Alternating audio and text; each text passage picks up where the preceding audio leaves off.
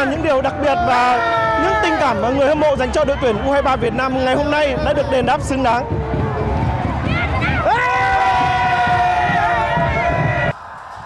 Chiến thắng đầy cảm xúc của đội tuyển U23 Việt Nam trước đội tuyển U23 Malaysia tại bán kết bóng đá nam SEA Games 31 đã mang đến niềm vui, cảm giác hân hoan chiến thắng dành tặng các cổ động viên.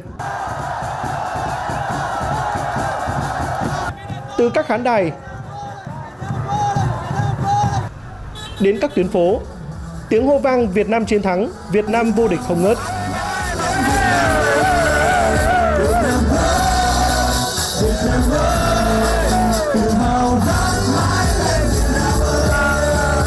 Việt Nam chiến thắng, Việt Nam chiến thắng là xứng đáng.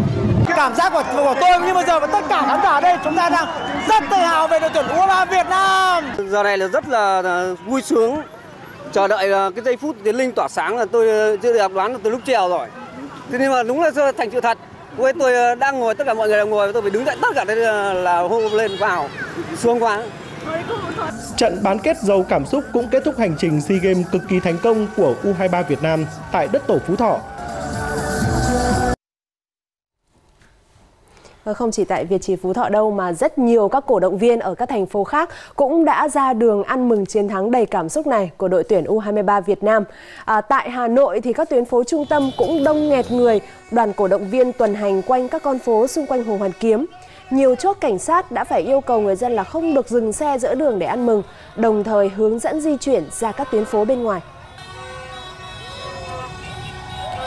Còn tại không khí ở thành phố Hồ Chí Minh cũng vậy, hàng ngàn người đã tập trung về phố đi bộ Nguyễn Huệ quận Nhất để theo dõi trận đấu. Trận đấu kết thúc thì các tuyến phố cũng bùng nổ tiếng hò reo của người hâm mộ, dòng người đổ ra các ngã đường để ăn mừng chiến thắng.